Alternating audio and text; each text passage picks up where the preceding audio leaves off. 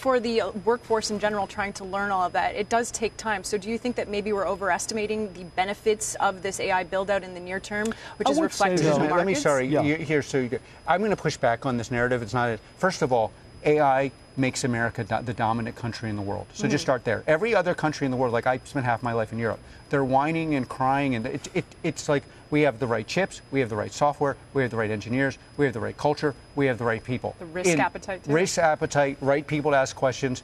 Uh, the whole thing is combining to become a juggernaut, and then and and, then, and like then you these these these partnerships happen, and that just throws gasoline on the fire. Sex. So the classic, the real question is, will the GDP growth accrue to all Americans or just wealthy Americans?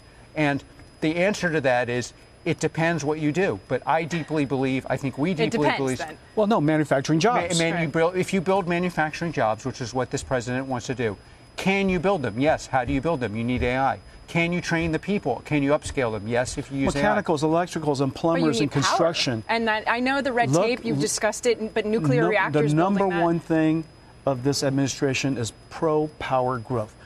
Look at all the power generations that he's approved. Look at all the DOE land and energy Yeah. he, they've approved. I mean, this is really about this is a pro energy growth administration, pro manufacturing administration, and President Trump is pro jobs.